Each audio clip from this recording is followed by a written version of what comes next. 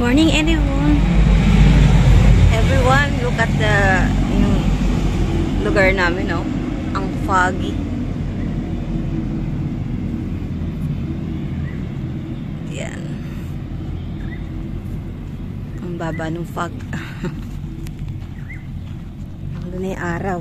Sikat na yung araw.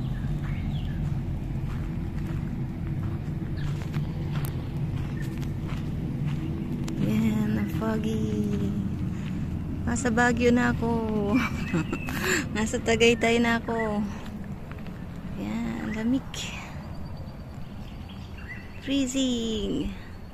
Ayun na yung araw. Makikipaglaban sa ano, sa fog.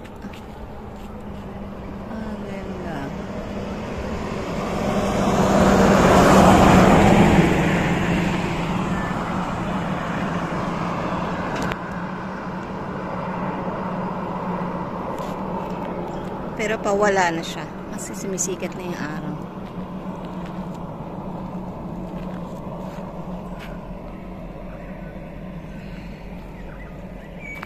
Hindi niya makikita yung street doon. Oh, ang dilim.